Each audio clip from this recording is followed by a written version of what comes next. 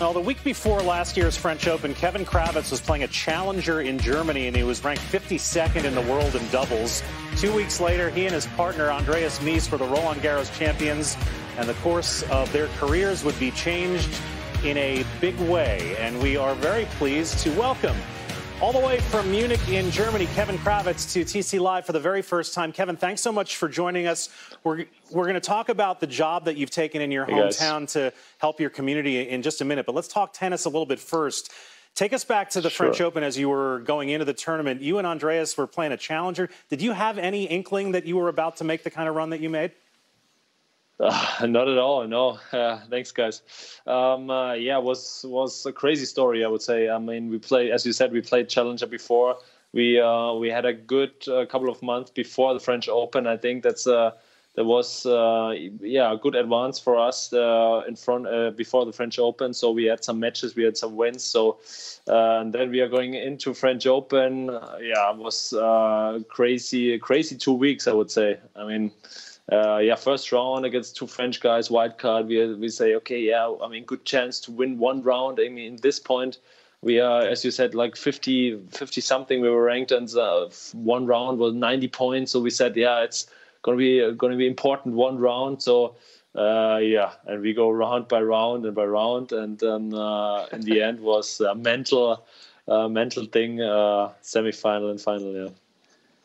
Kevin, it was such a exciting run for all of us to watch. Now, during this time, have you and uh, Andres, ha- have you guys been able to get any time on court? Do you guys live far away from each other? Um, yeah, he lives in Cologne. Um, I'm uh, living in Munich, so we are at, at the moment we're staying uh, we're staying at our hometown. So um, uh, yeah, I mean maybe uh, maybe someday if if we know when the tour is going on again, so we we say okay we maybe practice one i practice one week in cologne he practiced one week in munich. So we can uh, yeah we can practice together uh, some weeks here and there. I'm sure you were looking very much forward to defending your title at roland garros and obviously you won't be able to do it now. Um, you must be you must be fairly disappointed. Do, do you think uh, there's a good chance they can play roland garros later this year um, so we are one more year defending champion. It's also okay. um, um, uh, yeah, of course, it's very sad for all, for all tennis players. It's, it's sad not to play, of course. Uh, but yeah, what we can do. I mean, if, if French Open is cancelled this year, maybe I don't know. No, it's still it's still on schedule um, uh, I saw. So yeah, hopefully uh, some tournaments are played this year. Of course, every every tennis player is uh, uh looking forward to play, to have some matches, to compete, to. Um, but yeah, I mean, um, the important thing is I think stay healthy, all the people, and when it's next year, it's next year. I mean, it's not the the biggest deal in the world as important as tennis is, you're one of the players who seems to have a really great perspective on what's really important in the world, and I guess that's that's led you to now working at a supermarket. Can you can you tell us a little bit about how this came up and, and why you chose to do this? Mm, yeah, actually, you know, I mean, when the ATP uh, tour said, yeah, they canceled a couple of uh, weeks me and my friend said, okay, we can do sport two hours per day, and what what we yeah we can we can try to cook something else, or we figured out how to bake something. But yeah, in the end, um, uh, another friend she's managing some uh, some stores in Munich around Munich, so.